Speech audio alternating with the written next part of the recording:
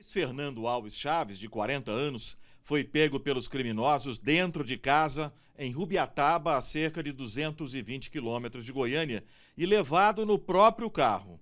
Imagens de circuito de segurança mostram a caminhonete branca sendo perseguida por policiais militares. O carro foi abandonado pelos bandidos e dentro dele estava uma pistola descarregada. O corpo de Luiz Fernando foi encontrado num canavial com sinais de execução.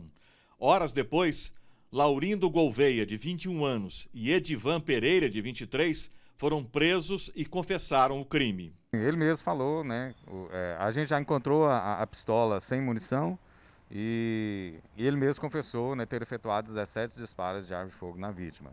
É, no tempo que ele estava com a gente, eles falaram que adentraram a residência é, usando controles. Esses controles haviam sido deixados para eles em determinado local.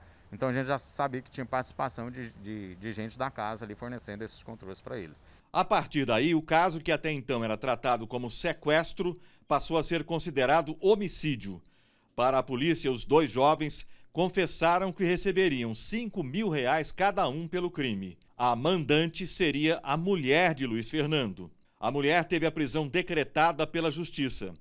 Eles eram pais de três filhos com idade entre 3 e 5 anos. A polícia investiga se a amante da suspeita teria envolvimento no crime. A motivação seria o patrimônio do dono do cartório. É, tudo indica que foi um motivo muito vil, né? envolvendo a indenização do seguro e outros bens que eles possuíam. Luiz Fernando foi sepultado em Trindade, onde mora a família dele, sob forte comoção. É um final de ano tão triste, né? Não é fácil, não. Muito inteligente, né? Trabalhador, estudioso, trabalhador muito, uma pessoa muito, muito boa.